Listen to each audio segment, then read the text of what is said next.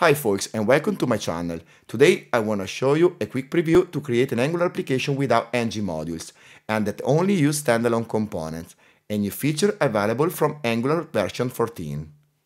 We also see how to handle dependency injection, create routes, nested routes and navigation, and how to use lazy loading by using standalone components. This is my first approach to the creation of an Angular application without modules, Honestly, I'm not sure this is the best approach we can use and if I will really use it in a real world application. Anyway, I was too curious to try it, so I have created this demo and I wanted to share all this with you. As I told you, this video is just a quick preview and is very fast, so it's not suitable for beginners who are not familiar with the framework.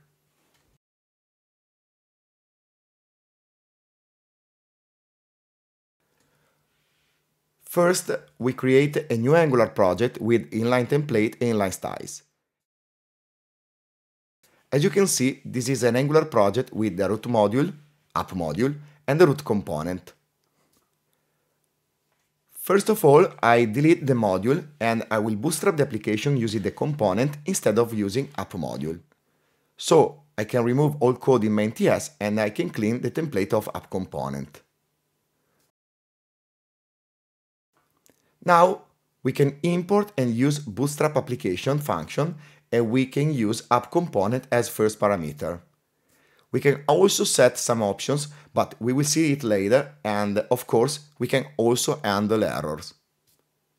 Now we can convert AppRoot in a standalone component and since we don't use app module anymore, we need to import common module and all the other features this component needs to work as we'll see soon. For now, we don't need the second parameter, so I can remove it from the Bootstrap application function, and I can run the application with npm start to see if it works. And this is our first Angular project without modules. That was pretty easy, we just imported app component and used as first parameter of the Bootstrap application function. Just it.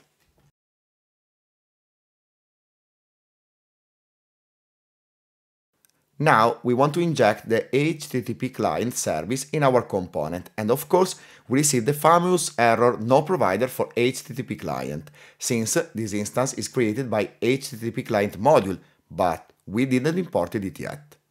The first solution is import the module directly in our app component and as you can see it works. Or we can use the second parameter of the Bootstrap application function and use import providers from to import everything from HTTP client module. And the result is more or less the same.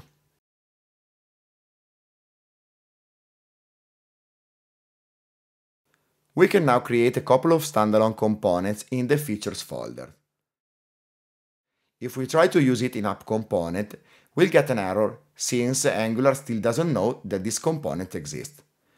To fix this problem, we can simply define it in the imports property and that's all. And if we need to use some directives in another standalone component such as home component, for example, I may use ng model directive.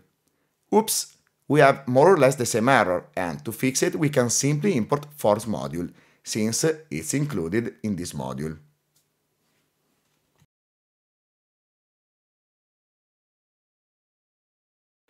Usually, in the past, we set the primary router rules in the app module or app routing module, but this time we simply create a new file routes.ts in which we define all our rules. There are a couple of differences with the approach we have used before Angular 14. First, we can set the path of the page, but also the title, and this is one of the new features. And instead of using the component property or load children, I use load component that allow us to lazy load components. Now we come back to main.ts and we can load router rules by using router module in the providers property. As you can see, the router works and both contact and home components are now loaded as new chunks when we open a specific URL. So I create a simple navigation bar with two buttons and I add the router outlet component to load the component in according with the URL. And since router link and router outlet are part of router module, we need to import it as well. And everything seems to work fine.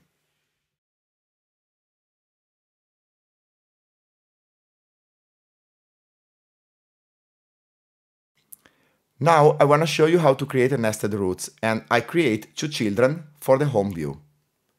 So I create a secondary navigation bar for these children and I add router outlet on home component as we just did for app component. We can now open the routes.ts file that we have previously created and we add some rules to handle the home's children. And of course, we can also define the default path, so when we go to home, we automatically redirect to child 1. And as we can see, when I go to home, I also load child 1. We can also load children by using lazy loading, as we did before. And now, when we load home, we also load the other chunks, one for child 1 and another for child 2.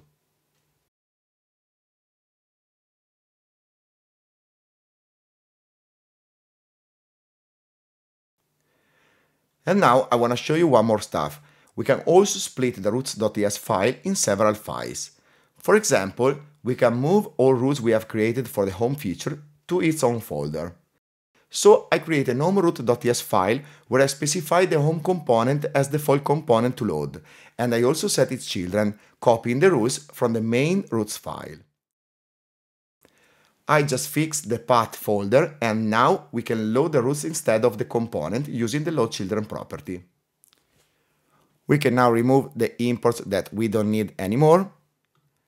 And as you can see, now the home path load the routes from the home routes.ts file.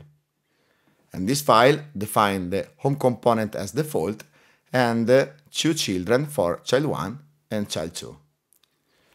Now, as you can see, the application works as expected. In fact, when we go to contact or home, for example, we can see the chunk that is loaded and also the child 1. When we go to child 2, we see the other chunk.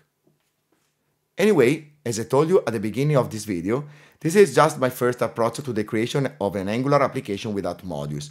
I'm not sure this is the best approach and if I will really use. Anyway, I was too curious to try it, so I did this demo and I shared it with you. Okay, that's all for this video. Let me know what you think about this new approach. Don't forget to subscribe my channel and see ya in the next video.